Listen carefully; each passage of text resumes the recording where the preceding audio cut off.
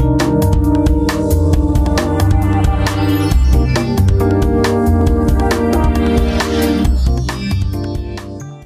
following presentation is a typical hinge belt installation process.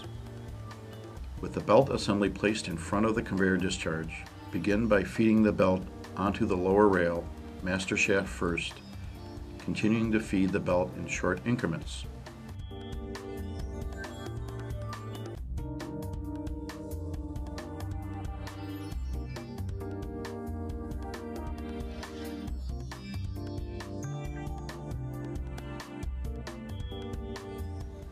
When the belt meets the tail section, you will need to work the edge of the belt around the two rail knobs. Once the belt has extended past the rail knobs 15 to 18 inches, continue indexing the belt from the rear tail section using your legs as leverage. Larger belt widths will require additional personnel to assist in the belt indexing.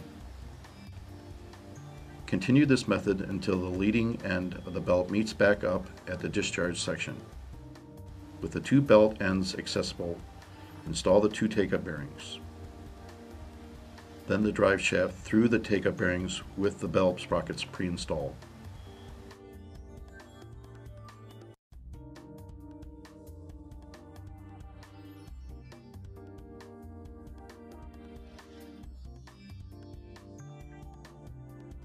Position the drive shaft opposite of the motor end, flush with the take-up bearing outer race.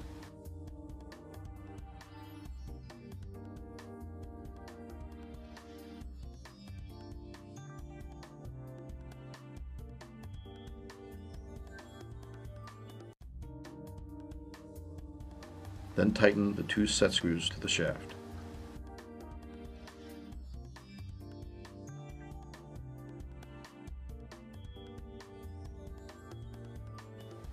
Tighten the set screws to the remaining take-up bearing.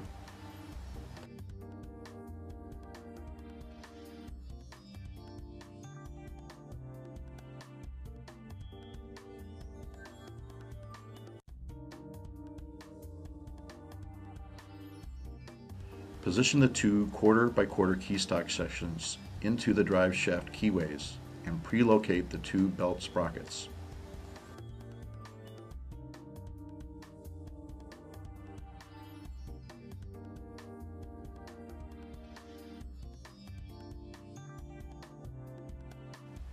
Then slide the whole assembly forward, holding it in place with a rod or tubing.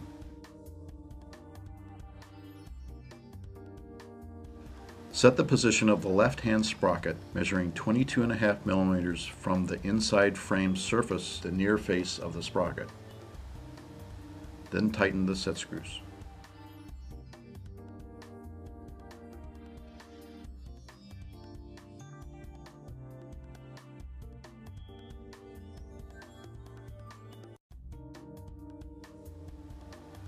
Manually take the upper belt section and place the belt chain into two or three teeth of both sprockets. This will position the right hand sprocket on the shaft.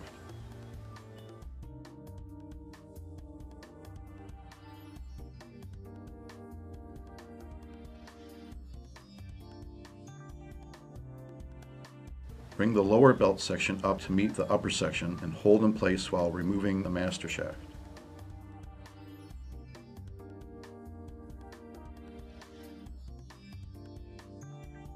Join the two belt sections and reinsert the master shaft halfway through the belt enough to tighten the set screws on the right hand belt sprocket.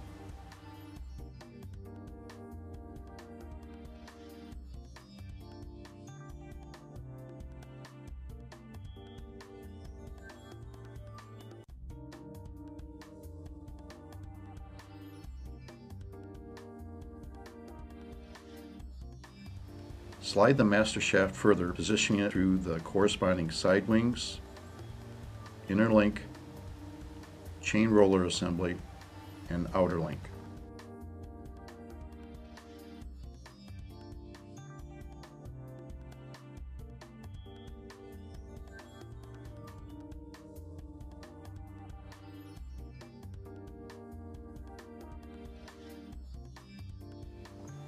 Continue sliding the shaft two or three inches, then feed the shaft back the opposite direction to connect the remaining side wings, inner and outer links, and roller assembly.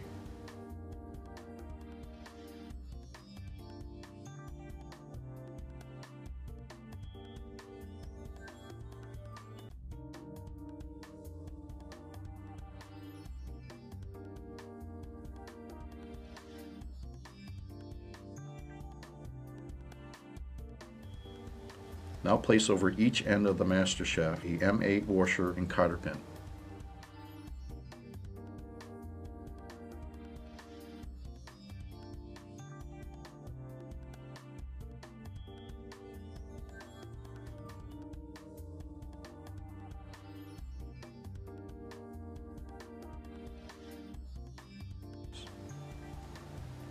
Install the motor drive, chain, and torque limiter or direct drive assembly if used. Connect the power source and test run the conveyor.